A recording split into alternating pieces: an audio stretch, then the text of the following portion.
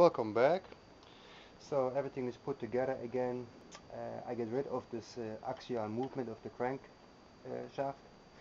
I put the crankcase cover 3 millimeters deeper, so the crankcase is now actually smaller, what's better for the engine.